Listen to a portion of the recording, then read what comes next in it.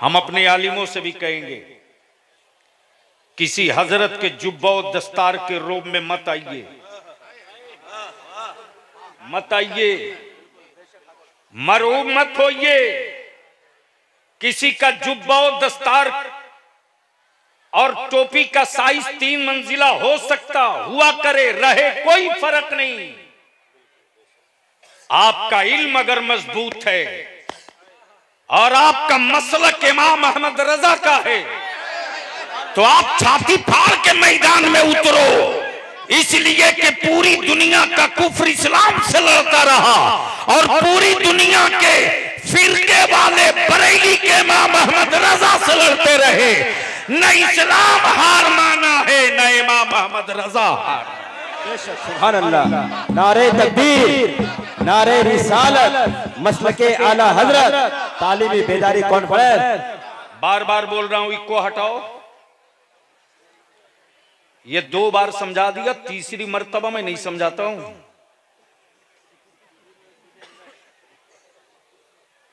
एक चाय वाला अपना जुर्म छुपाने के लिए मुसलमान दिखाते रहता है। और तुम अपना जुर्म छुपाने के लिए इको भिड़ाए जा रहे हो।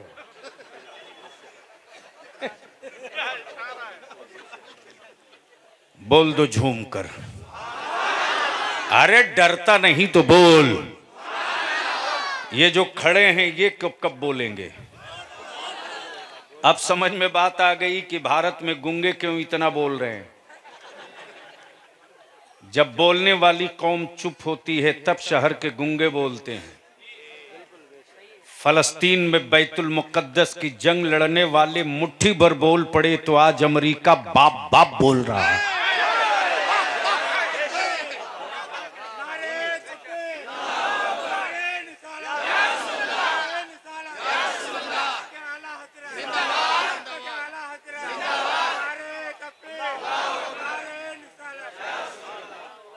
अवलमा कराम इजाज़त दे तो मैं ईमान वाले के किताबे इश्क से एक वजीफे इश्क निकाल दूँ।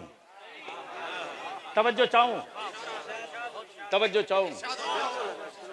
और ये तो दुनिया जानती है, मेरे खिलाफ जितना बकवास करती है, करते रहे। लेकिन ये भी मैं जानता हूँ, जिनके पैजामे का साइज़ गड़बड़ है, वो भी बगैर बरेली के इमाम अहमद रजा के अपना काम नहीं चला पाते। जब फिका में गाड़ी फंसती है तो किताब का स्टीकर फाड़ कर अपनी लाइब्रेरी में रखते हैं। लेकिन बलियाबी कहता है स्टिकर फाड़ देने से मतन नहीं फटने वाला है।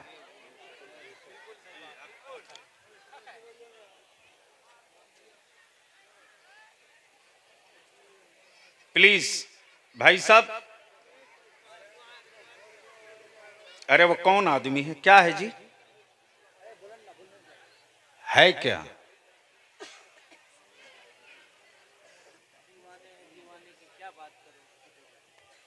दीवाना रहे तब ना तो बावला है।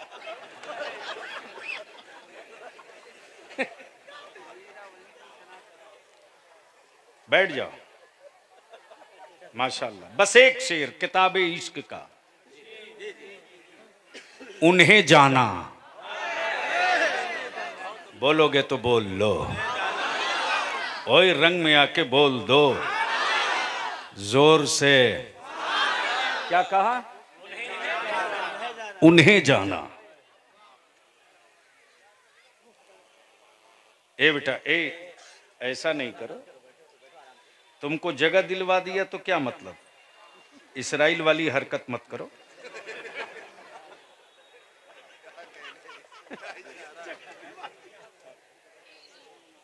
झूम के बोल लो या रसूल अल्लाह पहले स्टेज की तवज्जो चाहो। उन्हें जाना।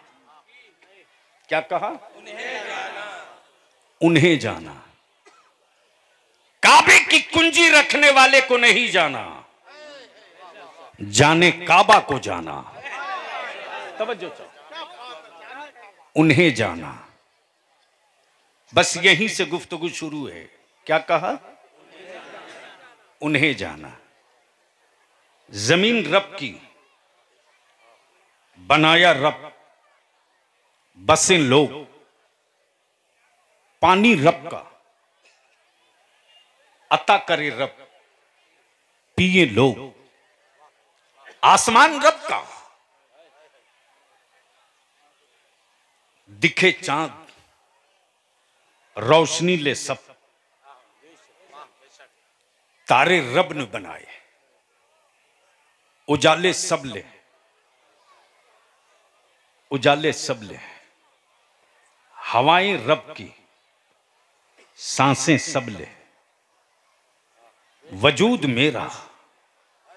खालिक रब। भूख मेरी। राजिक रब। ज़रूरत मेरी। पूरी रब करे।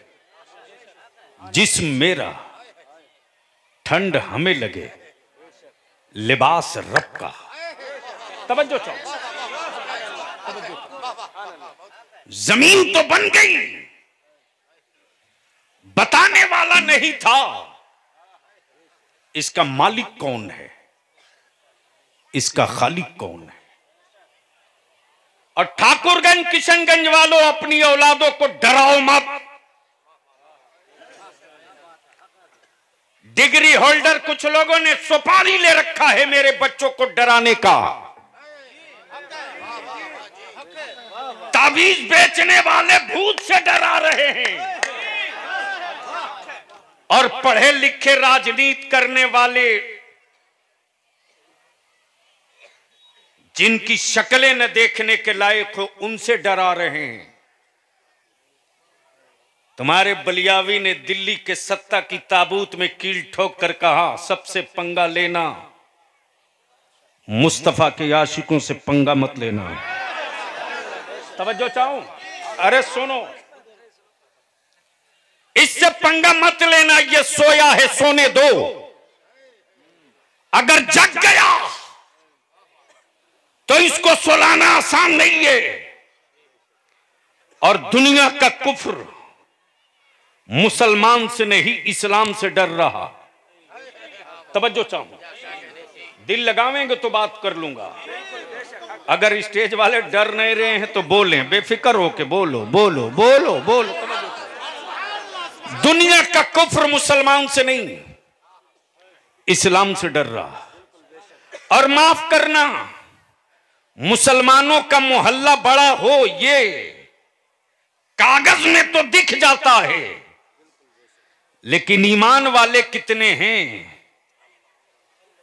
इसका अंदाज़ा बहुत आसान नहीं है। बहुत आसान नहीं है। मुसलमान कहलाना आसान है। मुसलमान होके ज़िंदा रह के मरना ये आसान नहीं है। तवज्जो चाहो तवज्जो चाहो।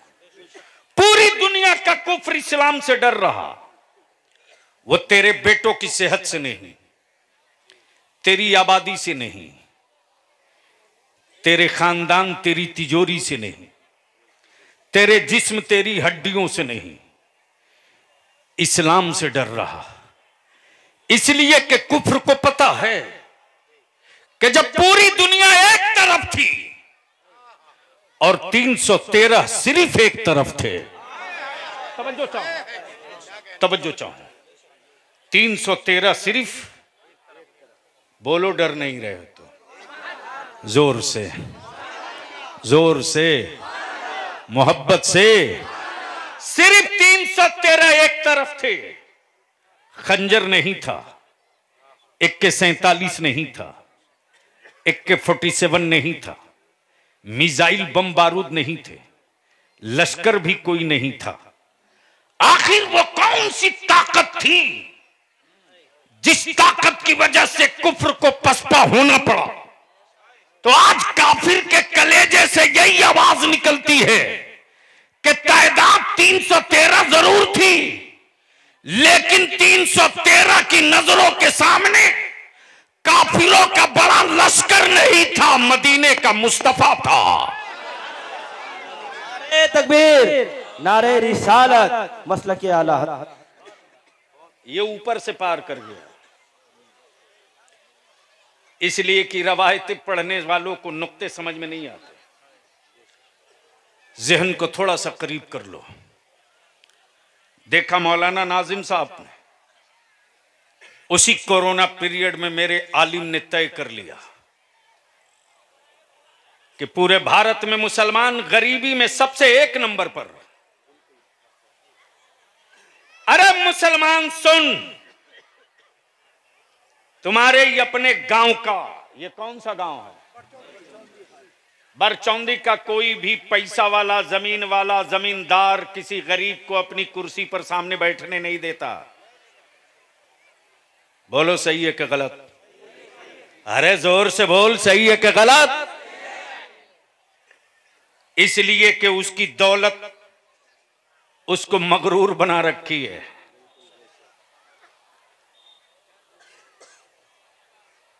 तो ये गरीब का बच्चा कैसे डॉक्टर बनेगा? और अमीरों का खानदान कभी नहीं चाहेगा कि गरीब का बेटा गाँव में गाड़ी पर चले। वो कभी नहीं चाहेगा कि तेरे बेटे इंजीनियर बने। वो कभी नहीं चाहेगा कि तेरे बेटे को भी इलाके का दस आदमी सलाम करे। इसलिए कि फिर उसकी दुकान बंद हो जाएगी। तवज्जो चाहूँ। लेकिन बलियाबी कहता, मौलाना, मेराज साहब और पूरी टीम घबराना नहीं। मायूस मत होना। हिम्मत के सामने चट्टाने चूर चूर होती हैं। आहत के सामने फौजें बिखर जाती हैं। हौसलों के सामने लश्कर भाग जाता है। ये तारीख रही है। हाँ शर्त यह है कि नीयत में खलास हो, कारोबार ना हो। शर्त यह है कि नीयत में नस्लों का मुस्तकबिल हो, दुकानदारी न हो। बंद रूम में मौलाना नाजिम अली साहब से हमने करीब करीब डेढ़ घंटा गुफ्तगु की है। डेढ़ घंटा गुफ्तगु की हम अपने वलमा को यकीन दिलाते हैं, आप घबराएँ नहीं। अरे जब आलिम खड़ा हो जाए आहत की पगड़ी बाँध कर तो हुकूमत हिला सकते हैं। शर्त यह है कि आहत की पगड़ी मज़बूत हो। दिल में अखलास हो, मसलक का जुनून हो, और कुछ कर गुजरने की जिद हो तो दुनिया की ताकतें दम तोड़ देती हैं, हिम्मतें कभी दम नहीं तोड़ती।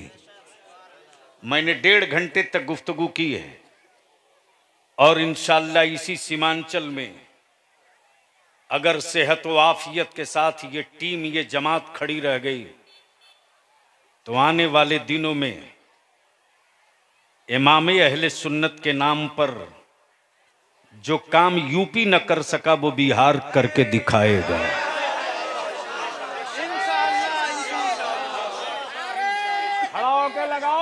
नारे तकबीर नारे रिसालत रिसालत मसला के आला हज़रत मसला के आला हज़रत उलमाए अहले सुन्नत हुजूर तहरीक अहले हिकमत तहरीक अहले हिकमत अहले हिकमत इंग्लिश एकेडमी बरचौंदी हाट नारे तकबीर उलमाए तहरीक अहले हिकमत।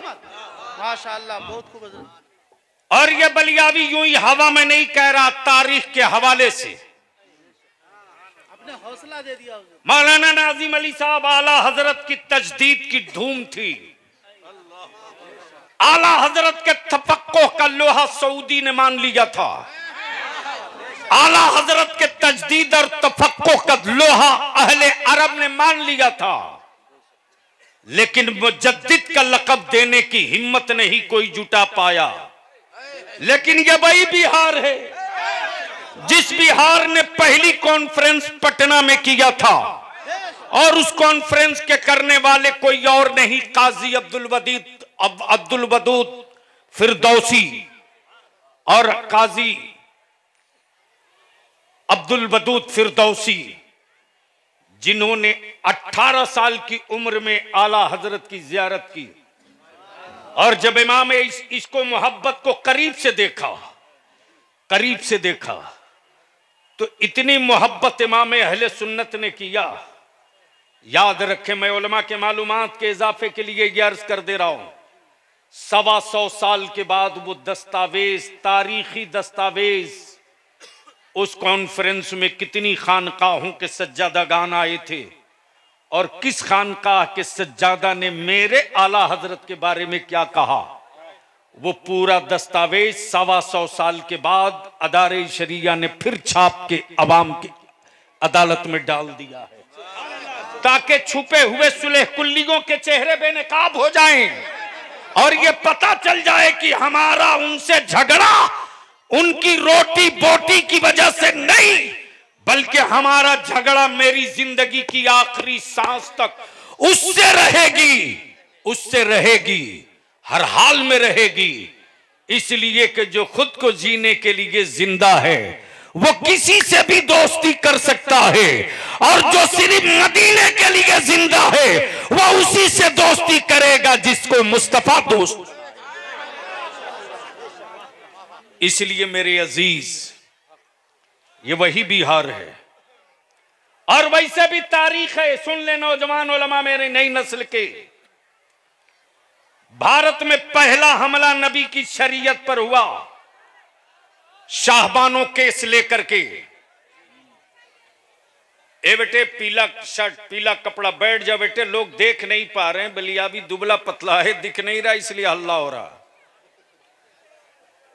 हाँ बैठ जाओ बैठ जाओ, थोड़ी मदद कर दो मेरी दस मिनट, बस सिर्फ़ दस मिनट।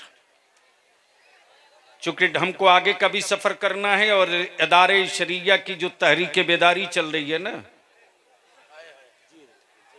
पढ़े सुने हो कुछ? अरे ज़ोर से बोलो ना। याद रखना, बलियावी के खिलाफ कुछ मौलवियों को पाल कर लाया जाएगा, इसलिए कि नस पकड़ के दबा दिया है। मौलवी ही को उतारा जाएगा बलियावी के खिलाफ लेकिन मैं भी मैं भी चश्मे का शीशा साफ़ करके ढूंढ रहा हूँ कि कोई तो निकले। प्लीज़ बेटे बैठ जाओ रहम कर दो या जाना है तो जाओ। चलो। हाँ क्या बोलते सुरजापुरी में बोस?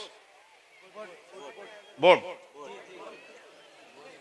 लेकिन इधर तो पूर्णिया और कटिहार तरफ़ बोलते बोस बोस। आए? लेकिन आज तक सुरजापुरी का तो कोई रस्मुल खत ही नहीं है।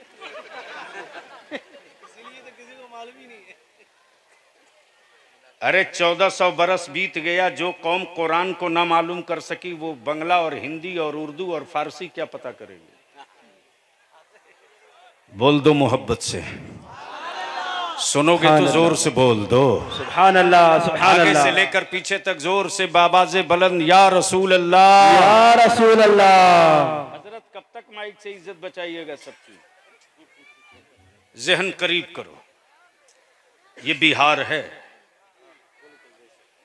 जब पहली मर्तबा मेरे आका की शरीयत पर हमला हुआ था दिल्ली की सत्ता से भारत चुप था। खौफ का माहौल था। पता नहीं कस, कब किस पर दिया यार लगा दिया जाए। पता नहीं कब किस पर देश दरोह का मुकदमा ठोक दिया जाए। लेकिन जैसे ही शाहबानो केस का मुद्दा बनाकर आका करीम की शरीयत में दिल्ली की हुकूमत ने खंजर मारा था वैसे माहौल में यूपी मध्य प्रदेश महाराष्ट्र नहीं। इसी गैर मुनकसिम बिहार में मसल के आला हज़रत का न टूटने वाला चट्टान, जिसके कलम की नोक से निकला हुआ जलजला आज तक बदअकीदों की हवेली में सुकून और सुकूत नहीं आने दिया। वो आता है इमाम इसको मोहब्बत रईसुल कलम अल्लामा अरशदुल कादरी ने ललकारा था। और बबागे दो हल्का था सत्ता में बैठने वालों, याद रखना, मुस्तफ़ा वाले अपने वजूद के लिए नहीं जीते हैं, मुस्तफ़ा के दीन के लिए जीते हैं। हमारी औलादों के मुस्तकबिल कर खतरा होगा। हम तड़पेंगे नहीं। हमारी दुकानें मकान जलाए जाएँगे। हम चीखेंगे नहीं। लेकिन मेरे रसूल की शरीयत पर उंगलियाँ उठाओगे तो बाजू सलामत रह जाए। इसकी कोई गारंटी नहीं हो सकती है। इसलिए कि ईमान वाला अपने खानदान के लिए नहीं जीता है, मुस्तफ़ा के इस्लाम के लिए जीता है। हमारी ज़िंदगी की हर सांस नबी के लिए, हमारी ज़िंदगी की हर धड़कन नबी के लिए, हमारी ज़िंदगी के हर लम्हे नबी के लिए, हमारी ज़िंदगी का हर सिक्का नबी के लिए, हमारी ज़िंदगी का हर आन नबी के लिए। और याद रखना, जिसके वजूद में नबी ना हो, वो जिस पर भारत पर बोझ तो हो सकता है, ईमान वाला नहीं हो ईमान वाला नहीं हो सकता। आज, मेरे बच्चे लवारिस हैं, लवारिस। लवारिस हैं अभी तीन दिन पहले यूपी के एक आलिम को मध्य प्रदेश के ट्रेन में उतार दिया गया। पीटा गया। पीटा गया। जो जब चाहे मेरे बच्चों को घेर के मॉब लिंचिंग कर दे और तुम पाँच सौ हज़ार रुपये में वोट बेचते रहो बेचते रहो। बेचो। चीखो मत। बेचो। जो कौम पाँच साल की कीमत न समझे, पाँच सौ की कीमत समझेगी। वो कौम अपनी औलादों के मुस्तकबिल की कीमत नहीं समझ सकती। जिस कौम ने अपने बेटों का मुस्तकबिल समझ लिया, वो कौम चटनी रोटी नहीं, नमक रोटी खा के जी लेती है। लेकिन अपने बच्चों को जाहिल नहीं रहने देती। और याद रखना, अंगूठा छाप बेटे को, जहेज का मिला हुआ सूट चाहे जितना कीमती पहना दो, पहनने के बाद वो पढ़ा लिखा नहीं, जाहिल ही रहेगा। लेकिन पढ़े लिखे बच्चे को अगर मोटिया मार्किंग पहना दोगे तो मार्केट में कहीं भी खड़ा रहेगा। उसका कपड़ा कोई नहीं देखेगा, उसका इल्म सब देखेगा। और उसी तहरीक का एक मिशन है। उसी तहरीक का एक मिशन है। मौलाना नाजम नाजिम अली साहब ने जब बताया कि बलियाबी साहब ढाई हज़ार इस तहरीक ने आलिमों को हकीम बना दिया। अब सोचो जिस आलिम को हिकमत की सनद मिल जाए, जिस पर ठप्पा हो हुकूमत का, वो गाँव के किसी चौराहे पर खड़ा होकर अपना वजूद और अपनी नस्ल खड़ा कर सकते हैं। इसलिए मैं मौलाना मेराज घबराना मत अब। अरब बलिया भी ने इस बिहार में बड़े बड़ी बड़ी बड़ी आंधी, बड़े बड़े तूफ़ान और बर्फबारी भी देखा है। लेकिन इरादा मज़बूत हो तो रजा वालों की जब लहर निकलती है ना तो बर्फ़ को पिघलाने की ज़रूरत नहीं पड़ती है, उसकी गर्माहट से खुद पिघल के पानी बन जाता है। बस एक मेहरबानी कर दीजिए कि पहले मस्जिदें गिनिए। मस्जिदें गिनिए अहले सुन्नत की पूरे ठाकुरगंज विधानसभा में मस्जिदें कितनी है? जबान खोल दूँगा तो बहुत से लोग नंगे हो जाएँगे। लेकिन मैं नहीं चाहता। हूँ लोगों ने मेरी नस्लों की कब्र कहाँ कहाँ खोदी है? एक एक कब्रिस्तान बलियावी की नज़रों के सामने है। लेकिन कुदाल किसी गैर ने नहीं मेरे लोगों ने चलाई है। अब भी भी उनको एहसास नहीं होगा इसलिए कि उनको तो पाँच सौ हज़ार रुपये से मतलब है।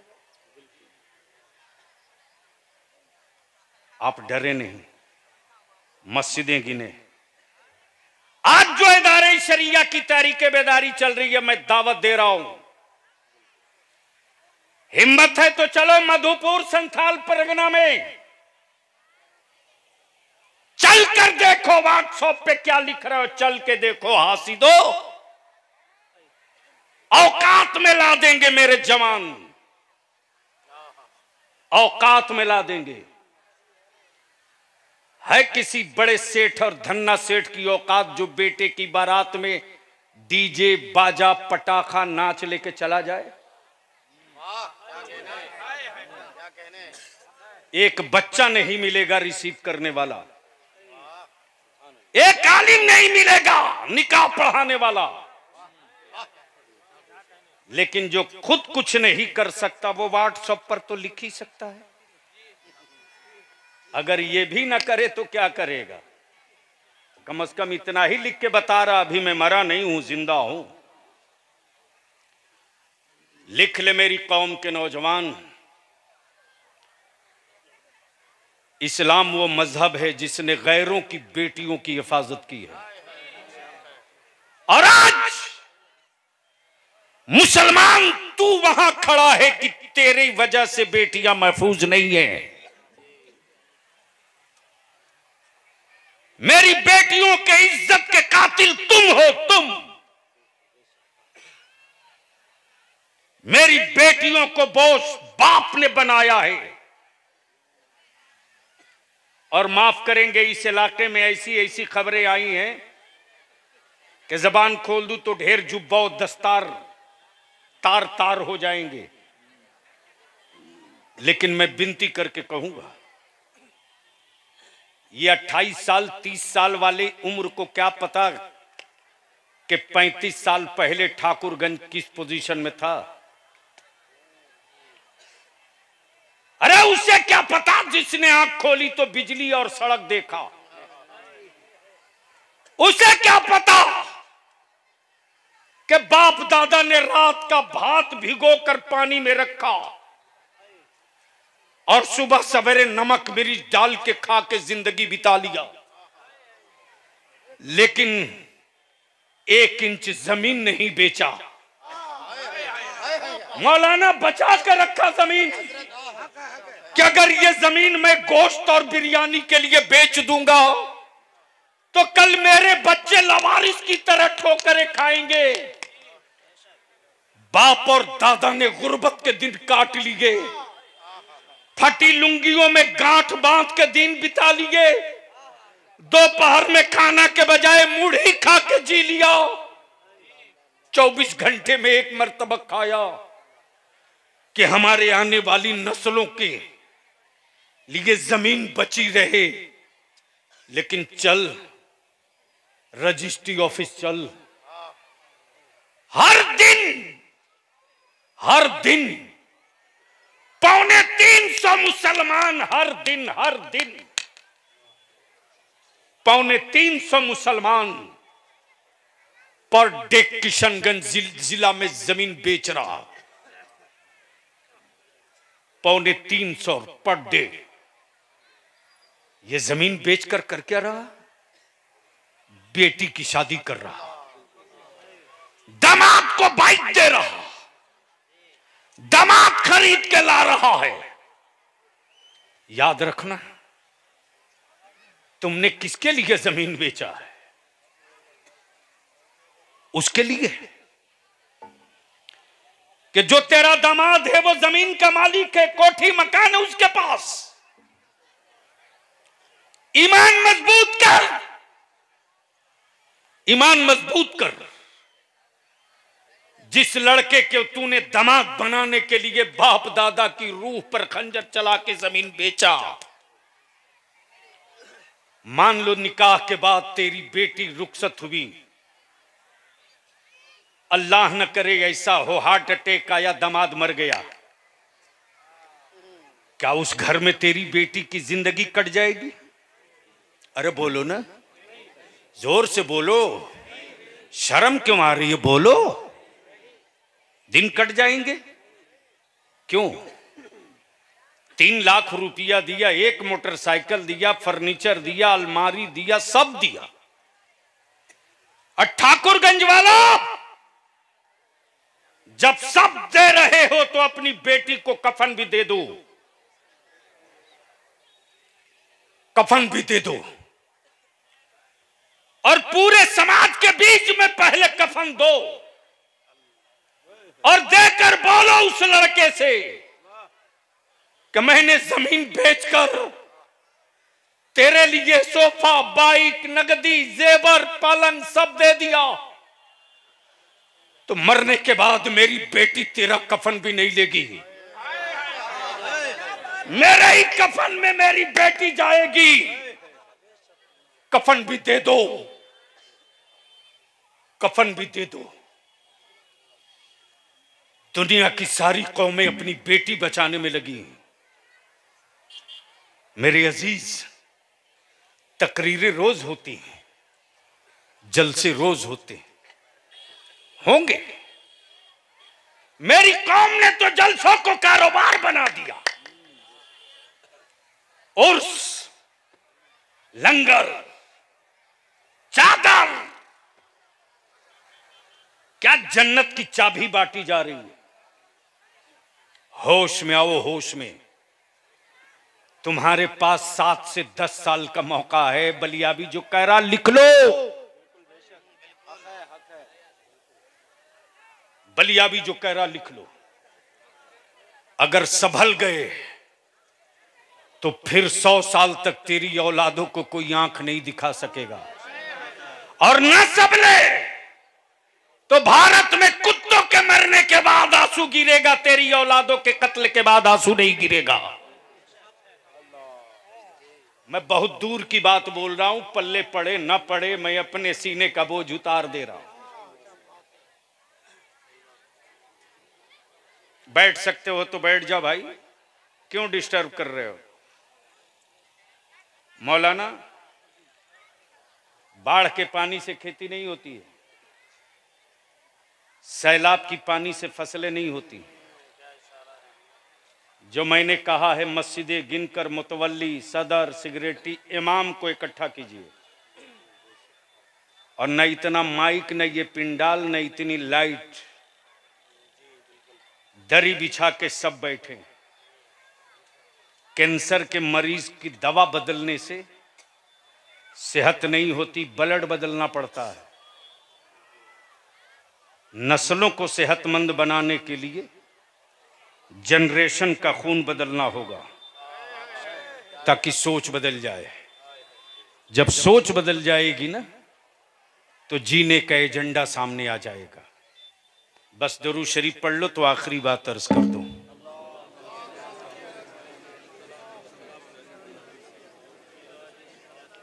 मुझे मालूम है दरू शरीफ याद नहीं है तो बुलंद आवाज़ से कैसे पढ़ोगे? इसलिए गाँव वाली जो दरू शरीफ दादा परदादा पढ़ते थे, वही पढ़ो। अल्लाहुम्मा सल्ली अला मौलाना मोहम्मद वाला आले सैयदीना मौलाना मोहम्मद सल्लल्लाहु अलैहि वसल्लम। पूछना पुराने लोगों से। पहले इतने मौलाना नहीं थे, लेकिन मिलाद शरीफ में रूह को सुकून मिलता था। उनसे पूछिए ना जिनकी उम्र अस्सी, पचासी, सत्तर, पचहत्तर है, वो बताएँगे। मिलाद शरीफ होती थी न स्टेज, न माइक, न लाइट। चंद चराग जला दिए गए, ज़मीन पर चटाई बिछ गई। दो चौकी चादर, अतरदान, अगरबत्ती जलाकर रख दिया। दो बुज़ुर्ग, चार बुज़ुर्ग बूढ़े आते थे। मिला दे अकबर मिला दे गौहर। हदायक बख्शिश लेकर एक साथ पढ़ते थे। और क्या रंग होता था उनके पढ़ने में? इसलिए कि वो तरन्नुम वाले नहीं थे, वो कल्ब वाले थे। वो आवाज़ वाले नहीं थे, वो दिल वाले थे। तो मैं आपसे पूछ लू, मौलाना हकीम नाजिम अली साहब ने अहद किया है कि मदरसे, स्कूल में पढ़ने वाले बच्चे अगर हिकमत के ज़रिए मेडिकल करना चाहें तो मैं तैयार हूँ। क्या आप लोग भी चाहते हो कि ये काम होना चाहिए? अरे बोलो ना, ज़ोर से बोलो ना। हकीम और डॉक्टर में फ़र्क नहीं है। ये भी बलियाविये की देन है, जो लड़ के बिहार हुकूमत से पास करा दिया, कि जो मेडिकल का एमबीबीएस होगा, जो पावर, जो डिग्निटी, जो डिग्री उसकी होगी हिकमत और हकीमी की पढ़ाई पढ़ने वाले, तिब की पढ़ाई पढ़ने वाले का वही स्टेटस, वही हैसियत होगी। मौलाना नाजिम अली साहब, आज चले जाइए बिहार में। ढाई सौ हकीमों की बहाली हुई, मेरे खिलाफ एक मोर्चा खोल गया। मौलाना बलियावी सब मौलवी के गले में आला लटकवा दिया, इसको नौकरी हो गई। ज़ाहिर सी बात है, बेचैनी तो उसको बढ़ेगी, जो चाहता था कि मौलवी हमेशा गरीबे रहे। लेकिन ये दीवार टूटेगी। ये टूटेगी। इसलिए मैं आप तमामी लोगों से अर्ज़ करूँ, पूछ लूँ कि इस इलाके में गरीबों के बच्चे भी हकीम और एमबीबीएस की हैसियत वाला डॉक्टर बने, ये काम होना चाहिए कि नहीं होना चाहिए? तो धीरे क्यों बोल रहे हो? अरे होना चाहिए कि नहीं होना चाहिए? कितने लोग चाहते हो कि होना चाहिए? जरा हाथ उठाओ ताकि समझ में आवे जलने वाले गरीबों से कितने हैं। पड़ोस में देखना, जिसका हाथ ना उठा हो, समझना, वो चाहता, उसी का भाई, बेटा, डॉक्टर बने, मौलवी गरीब न बने। क्या ज़रूरत? आप भी नहीं चाहते तो आपको तो दोनों हाथ उठाना चाहिए, आगे हैं। उठा कर रखो। अब इसी के साथ बोलो कि जहेज को, जहेज की लानत को रहना चाहिए कि खत्म होना चाहिए? ज़ोर सवाल, खत्म होना चाहिए कराना चाहिए? नकदी खत्म होना चाहिए कि रहना चाहिए। झूठ बोल रहे हो।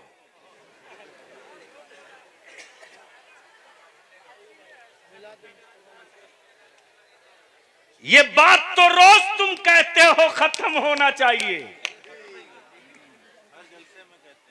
लेकिन जैसे ही बेटे का रिश्ता आता है, वैसे ही ये भिक मंगने की तरह शुरू। और क्या गजब का ड्रामा करता है? हकीम साहब बोलेगा, हम लोग खानदानी लोग हैं। क्या बोलता है? हम लोग खानदानी लोग हैं। पूछ लीजिए इलाके में मेरे बाप दादा की तारीख है। हाँ मौका मिलेगा तो आप भी नहीं छोड़ेगो बाबू। एक एक नस में चिंता हूँ। इसलिए कि किशनगंज का कोई प्रखंड पंचायत बचा थोड़ी ही है जिसको बलियावी ने ना समझाओ। हर बाप अगर तय कर ले कि इसको दफन करना है। मालूम है मुसलमान, तूने बेटियों को बोझ बना दिया बोझ। और ये लानत गरीबों के छप्पर से नहीं, अमीरों के घर से निकली है। अमीरों ने बड़ा दिखने के लिए और बड़ा बताने के लिए गरीबों की बेटियों के अरमान पर बुलडोजर चलाया। और जिस दिन मुसलमान कम्युनिटी का अमीर उतर जाएगा जहेज के खिलाफ, उसी दिन ये लानत खत्म हो जाएगी। गरीबों की बेटियाँ आंचल फैलाकर रब से रब से रब से इल्तिजाएँ करेगी परवरदिगार। तेरे महबूब की उम्मत को होश आ गया। अरे तुझे पता नहीं है कि इस इलाके से मेरी बेटियों के साथ क्या हो रहा। सुने मेरे ओलमा अगर जमीर ज़िंदा है तो सुने। पश्चिमी उत्तर प्रदेश से डुप्लीकेट मुसलमान बन के आते और इस इलाके का दलाल, इस इलाके का बेटी बेचने वाला जलील। मेरी कौम के जुबैदा और सकीना की बाप की गुर्बत का मौलाना बलिया भी फूट फूट के रोया है। इसी बंगाल के बॉर्डर पूर्णिया, इसी दालकोला, इसी किशनगंज के दर्जनों केस आए। राजस्थान और पश्चिमी इलाके से जब एक लड़का फ़ोन करके कह रहा, मेरी बहन की शादी हो गई, जलसलमेंट की तरफ़ मेरी बहन को बेच दिया। मुझको बता किससे लड़े रे? तुझसे लड़े कि हुकूमत से लड़े? तुझसे मेरी बेटियाँ लड़ेंगे, दरिंदों से लड़ेंगे। मेरी बेटियों की आबरू के कातिल तुम हो तुम। मेरी बेटियों की आबरू के दुश्मन तुम हो तुम तुम। जब पता किया तो मालूम हुआ कि जलसलमैन के आगे बॉर्डर के करीब रेगिस्तान में बच्चियों को रखा गया। वो दलाल तीन हज़ार, पाँच हज़ार रुपया लेकर गरीब बेटी के बाप को बोलते, तेरी बेटी की उम्र जा रही है। एक मुसलमान लड़का आया है, कुछ भी पैसा नहीं लगेगा, तुझको दस, पाँच हज़ार टका दे देगा। उससे तुम अपनी बेटी का निकाह कर दो। अगर जमीर मरा नहीं है तो तन्हाइयों में सोचना। आज एक मजदूर की बेटी बेची गई। आने वाले दिनों में किसकी बेटी बिकेगी मैं नहीं जानता। लेकिन मोबाइल के डब्बे ने मेरी बेटियों को आवारा बना दिया। मोबाइल के डब्बे ने मेरे बच्चों को आवारा बना दिया। हम अपने अइम्मा से भी गुजारिश करेंगे। डरिए मत। मदरसे का मतवली सिगरेटी हो सकता है, रजाक नहीं हो सकता। और आलिम वो नहीं है जो दौलतमंदों के सामने सिलेंडर कर दे। मेरे सामने मेरा आइडियल, मेरा रहनुमा, मेरा मुक्तदा, मेरा पेशवा, मेरा इमाम अहमद रजा है, जिसने नवाब रामपुर की औकात ला दी और अपना इश्क बता दिया। मैं गदा हूँ अपने करीम का। मेरा दिल पारे नान करु मत है अहले दोहल रजा। पड़े इस बला में मेरी बला। मैं गदा हूँ अपने करीम का। मेरा दीन पा रहे नान इसलिए मेरे अज़ीज़, मैं भरोसा दिलाने की कोशिश कर रहा हूँ, मौलाना हकीम नाजिम अली साहब को। शिकस्ता दिल है, कुछ एहसास है। मुसलमानों का पूरी दुनिया में, पूरे हिंदुस्तान में कोई भी यूनिवर्सिटी कॉलेज स्कूल बगैर चंदे के नहीं खड़ा हुआ। जब भारत की सरकार और बिहार हुकूमत चंदे के बगैर नहीं चल सकती, उनको भी चंदा चाहिए। तो आप बताओ कि हम अपनी औलादों को कैसे बगैर चंदे के खड़ा कर सकते हैं?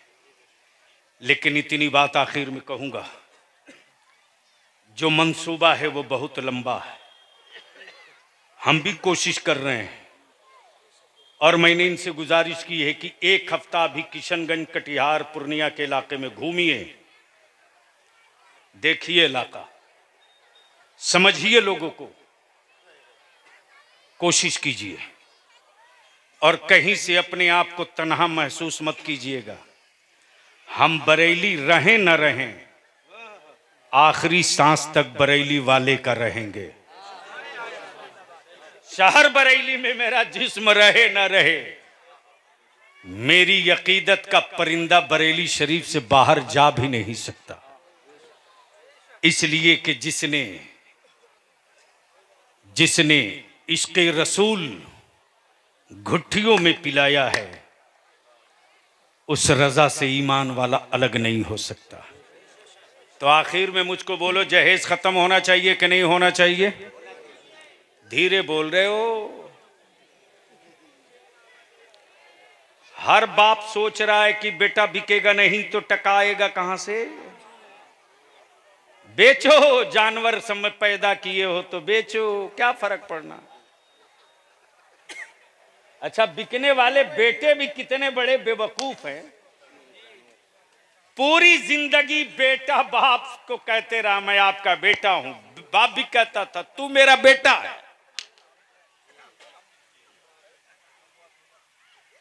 क्या बोलता था? तू मेरा बेटा और जैसे ही जवान हुआ, बेटे का रेट लगा के बैल, गधा, घोड़ा, बकरी की तरह बेच दिया।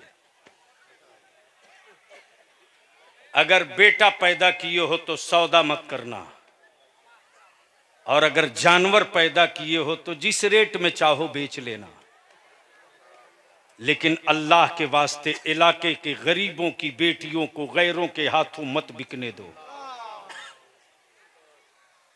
मौलाना, तीन दिन के बाद मुझको ट्रेस लगा, तीन दिन के बाद। जब मैं जयपुर, अजमेर शरीफ, नागौर शरीफ उदयपुर, भेलवाड़ा फ़ोन किया हूँ लड़कों को। तब बड़ी मुश्किल से ट्रेस लगा। तब बाद में पता चला, जब उसको, उसकी अरेस्टिंग हुई तो पता चला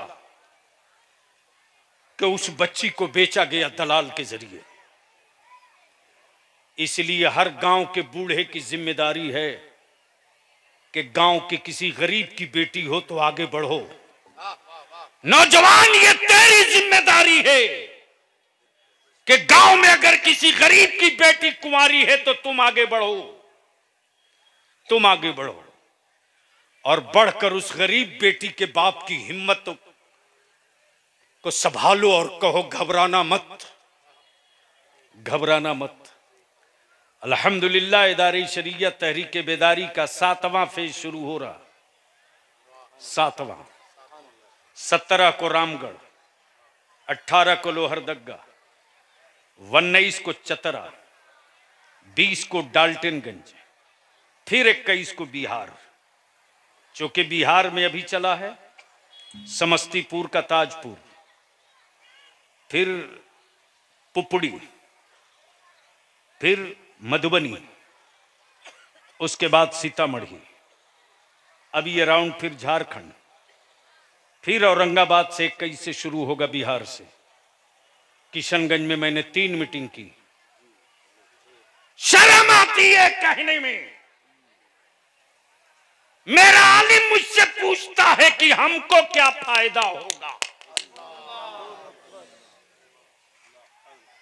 जिस कौम का आलिम फ़ायदा दुनिया में ढूंढेगा,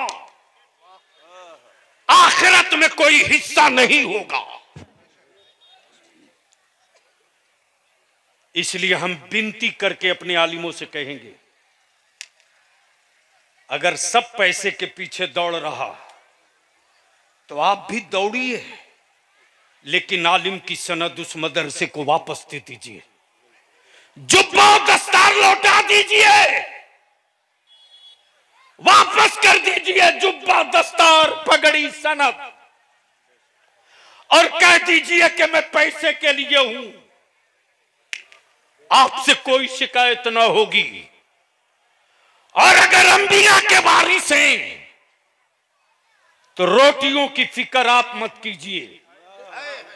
अरे, आपके बलियाबी के लिए भी विदेश से वीज़ा आया था, विदेश से। आज से 35 साल पहले रईसुल कलम को मालूम हुआ बलियाबी विदेश न चला जाए।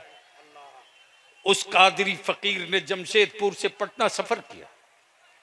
आने के बाद फरमाते, बेटा, मैंने सुना है, तुम विदेश जा रहे हो। मैंने कहा, सोचा तो था। फरमाते कि, बेटा, तू अपना आज देख रहा मैं तेरा कल देख रहा हूँ।